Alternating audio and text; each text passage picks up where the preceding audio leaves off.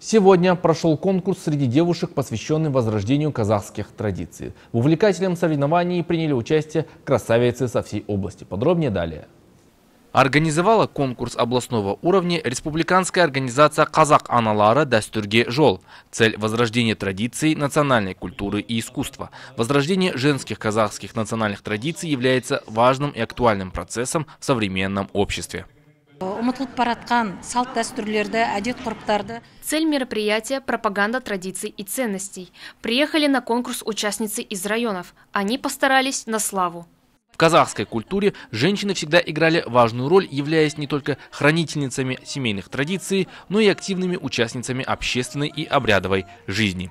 Они прочными узами связывали опыт и передавали его дальше, продолжая воспитывать детей в духе казахской культуры и традиций. На конкурс приехали 12 девушек со всей области, в частности из Кордайского, Меркенского, Жолынского, Рыскуловского, Байзакского, Жамбулского районов продемонстрировала свою красоту на конкурсе. Выступаю под номером 11. Надеюсь одержать победу. Соревнования проходили в три основных этапа. Первый этап – замер длины волос девушек. Второй – презентация поделок. Третий – конкурс вопросов и ответов. Все три этапа находились под пристальным контролем жюри. По итогам победителям были вручены специальные ценные подарки от спонсоров. Валихан Талгатов, Ильдар Гизатулин, Канат Бакатулой, Айканакпарат.